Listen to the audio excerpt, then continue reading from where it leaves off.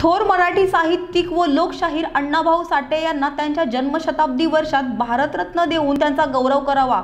यासाठी मागील आठ ते दहा वर्षापासून प्रयत्न करणारे पी एम टीचे माजी अध्यक्ष भीमराव पाटोळे यांनी आंदोलनाचा इशारा दिलाय. मराठी साहित्यातील अग्रणी जागतिक कीर्तीचे लेखक दीनदलित आणि कष्टकरी श्रमिक महिला यांच्या प्रश्नांना वाचा फोडणारे व त्यांच्या उद्धारासाठी लेखणी झिजवणारे तसेच ज्यांचा रशियासारख्या देशाने गौरव केला आहे आणि संयुक्त महाराष्ट्राच्या लढ्यात मोठे योगदान देणारे अण्णाभाऊ साठे हे केवळ दलित आहेत म्हणून भारतरत्न देण्यास संकुचित मानसिकता आड येत असेल तर ही बाब अन्यायकारक आहे. त्यांचा शताब्दी वर्षात अण्णाभाऊंना भारतरत्न मिळवण्यासाठी वाटेल तो संघर्ष करण्याचा संकल्प केला जात आहे. यासाठी आंदोलन करण्याची वेळ आली तर करू असा इशारा पाटोळे यांनी केंद्र सरकारला दिलाय.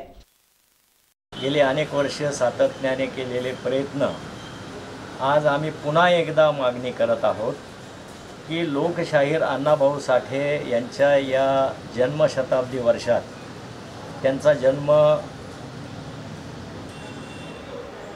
ऑगस्ट महिन्यात एकोणीसशे वीस साली झाला. आणि दोन हजार वीसपासून त्यांची जन्मशताब्दी सुरू होते.